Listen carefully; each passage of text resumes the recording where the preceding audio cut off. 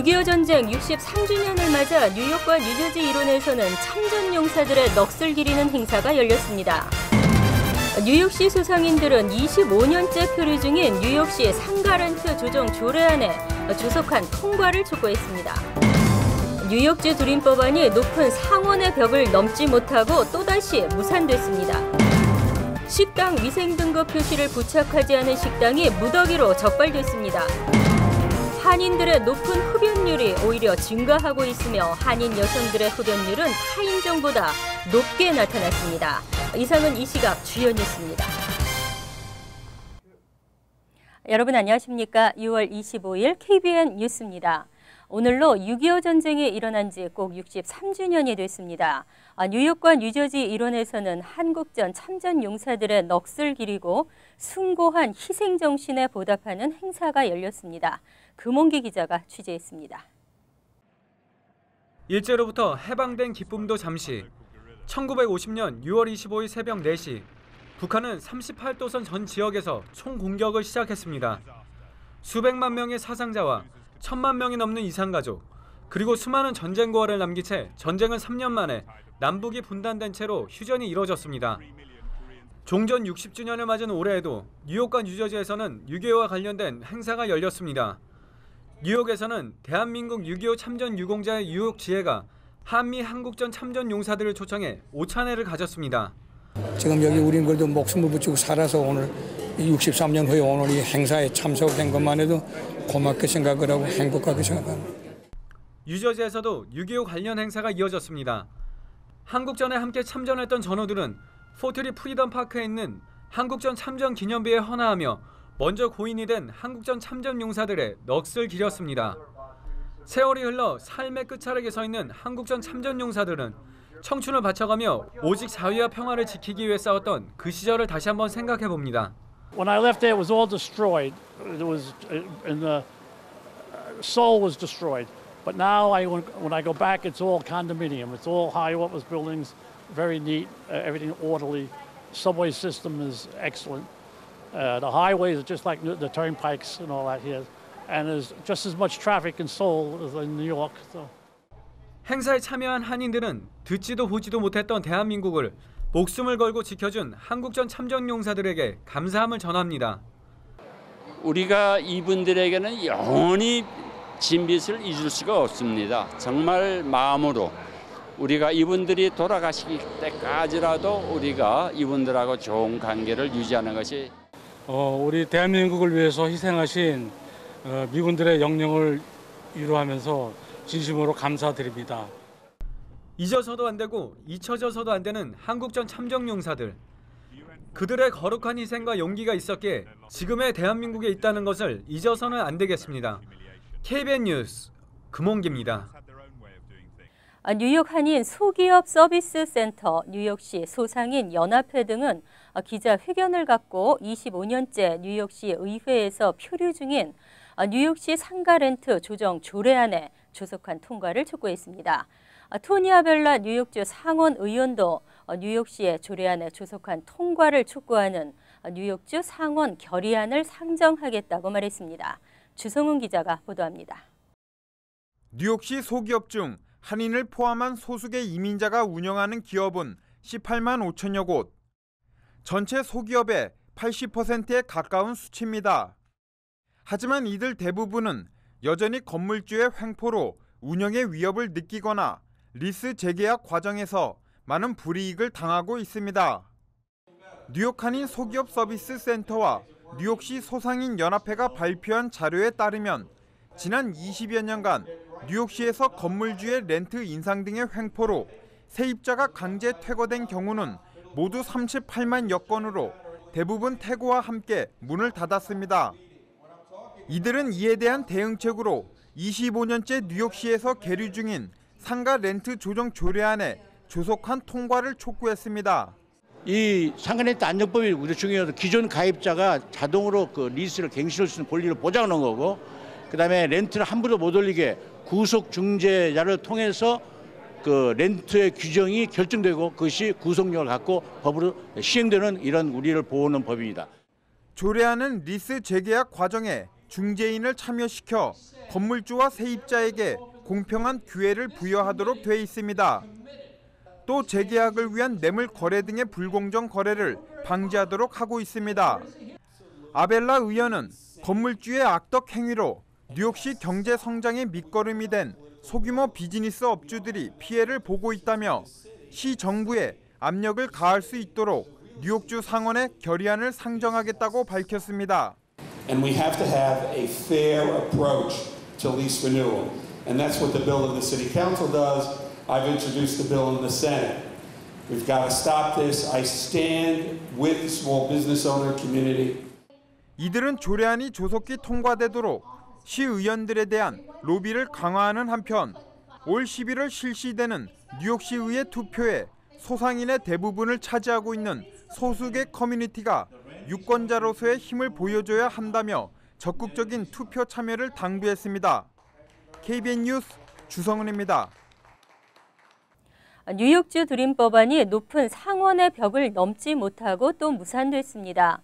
부유층 공화당 역시 이번에도 세금 문제를 들면서 납세자들의 지지를 이끌어냈습니다. 상원은 회기 마감일을 22일로 하루 연장하면서까지 쟁점 법안 처리를 시도했으나 불법 체류 학생들에게도 주정부 학비 지원 프로그램 신청 자격을 주는 드림 법안 표결에 실패 자동 폐기됐습니다. 감사원은 추가 비용이 2천만 달러에 불과하다는 보고서를 내놓고 어, 교육국과 리전트 위원회도 어, 뉴욕 드림 법안의 지지 의사를 밝혔으나 어, 공화당은 납세자 부담이 늘어난다며 법안 처리에 반대 입장을 고수했습니다. 또한 지난 4월 주 하원이 가결했던 조기 투표제 도입 법안도 현실화되지 못했습니다. 조기 투표제는 본선거의 경우 선거일 15일 전부터 예비 보궐선거는 선거 선거일 8일 전부터 조기 투표제를 시행하는 내용으로 어, 뉴욕주 투표율을 높이자는 취지입니다. 이 밖에 임신 24주 이후에도 낙태를 할 수 있도록 하는 여성 인권 법안 역시 앤드류 쿠어모 주지사와 여성단체들이 TV 광고 등을 통해 강력히 추진했지만 가톨릭 등 종교계와 공화당의 반대로 좌절됐습니다.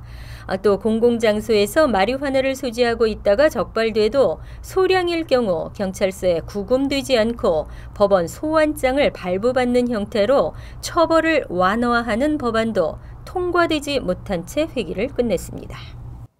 위생 등급 A를 붙여놓은 뉴욕시 식당에 들어가면 왠지 안심이 되는데요. 하지만 그 외의 등급을 붙여놓은 식당은 보기가 어렵습니다.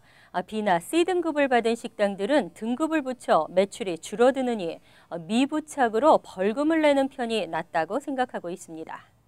어제 일자 데일리 뉴스는 시 보건국 자료를 분석해 지난해 식당 1356곳이 등급이 적힌 카드를 공개하지 않아 등급 카드 미부착 벌금 건당 1000달러를 부과받았다고 보도했습니다. 이는 전체 식당 2만 4천 곳 가운데 5.65%에 해당합니다. 이 가운데 과반인 745곳이 가장 낮은 C등급 카드를 부착하지 않았고 581곳은 B등급 식당이었습니다. 흥미로운 사실은 A등급을 받았던 30곳도 등급 표시를 부착하지 않았습니다. 어, 위생 규정에 따르면 첫 위생 검사에서 A등급을 기록하면 위생 관련 외부 신고가 없을 경우 1년 동안 재검사를 받지 않습니다. 하지만 벌금 14점부터는 재검사를 실시하 며 어, 재검사를 기다리는 동안은 등급 미정 판정을 받게 됩니다. 아, 그러나 재검사에서도 A를 받지 못하면 B등급이나 C등급을 인정해 식당 앞에 등급 카드를 부착하든지 또는 등급 보류를 선택해 보건국 행정심판소에 이의를 제기할 수 있습니다. 아, C등급을 받았지만 카드를 공개하지 않은 브루클린 소재 한 레스토랑 매니저는 아, 고객들에게 C등급을 보이느니 차라리 벌금을 무는 게 낫다고 한숨을 쉬었습니다.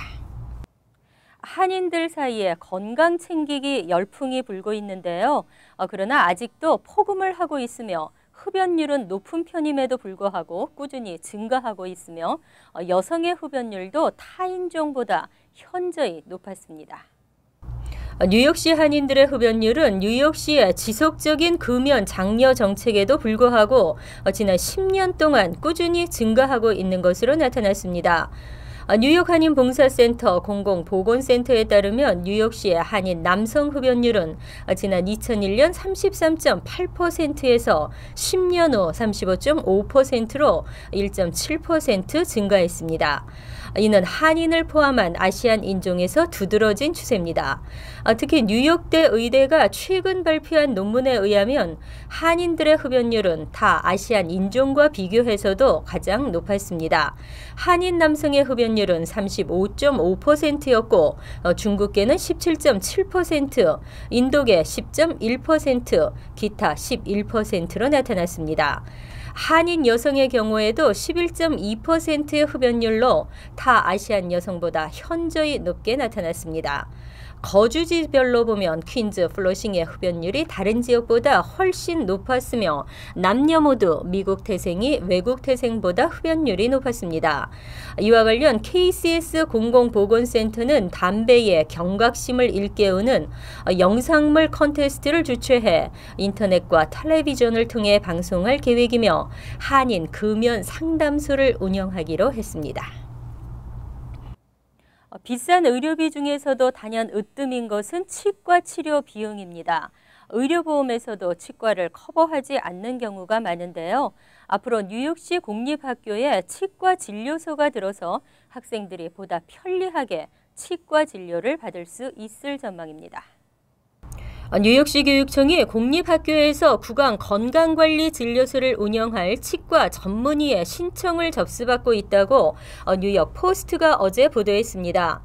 2013에서 어, 14학년도에 첫 선을 보일 치과 진료소는 충치 치료, 구강 청소, 올바른 칫솔질과 치실 사용법, 충치 예방과 관리, 그리고 치아 영양 정보와 금연 교육까지 겸하게 됩니다.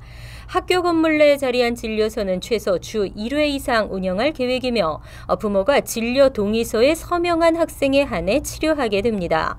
이는 저소득층 소외 지역 학생일수록 어, 구강 건강 관리에 취약하다는 지적에 따른 것으로 어, 진료비는 메디케이드에서 커버됩니다. 한편 현재 치과 진료소 설치가 고려 중인 학교는 플러싱의 JHS 189 중학교와 PS 40 초등학교 등 퀸즈 두 곳과 스테튼 아일랜드 PS 21, 브롱스 PS 107, 그리고 브루클린 8곳과 맨해튼 3곳 등입니다. 아직도 샌디 피해자들의 상처는 아물지 않고 있습니다. 파손된 주택, 물에 잠긴 일터, 일자리까지 잃은 그들은 렌트를 낼 수조차 없는데요. 연방지원금 4천만 달러가 투입돼 렌트 지원을 받을 수 있게 됐습니다. 뉴저지주 커뮤니티 사업국은 지난 21일 연방정부의 커뮤니티 지원 보조금 4천만 달러를 투입한 Landlord Incentive Program을 공식적으로 시행한다고 밝혔습니다. 이 프로그램은 샌디 피해를 입은 저소득층과 중저소득층들이 보다 쉽게 렌트를 얻을 수 있도록 비용의 일부를 2년 동안 지원하는 것입니다. 아, 그리고 보다 긴급하고 어려운 사람이 먼저 지원받도록 저소득층이 중저소득층보다 먼저 지원받을 수 있습니다. 어, 프로그램 기금 중 75%는 샌디 피해가 심했던 버겐, 애틀랜틱, 케이프 메이, 에섹스, 허슨과 미들섹스 등 9개 카운티에 배정되며 어, 나머지 25%는 주 전체를 위해 쓰이게 됩니다. 어, 세입자는 개인별 월소득과 렌트 희망주택의 방 개수를 기준으로 보조를 받게 되며 월소득의 30% 정도가 렌트비로 책정되고 어, 나머지 공정 렌트 가격의 차액만큼이 보조 됩니다. 어, 이번 프로그램의 시행으로 총 1000가구의 세입자가 도움을 받을 것으로 예상되며 주택 소유주들도 안정적인 렌트를 받을 수 있습니다. 아, 참가를 원하는 주택 소유주는 주 커뮤니티 사업국 웹사이트에서 신청할 수 있습니다. 이상으로 KBN 뉴스를 마칩니다. KBN과 함께 즐거운 저녁 되시기 바랍니다.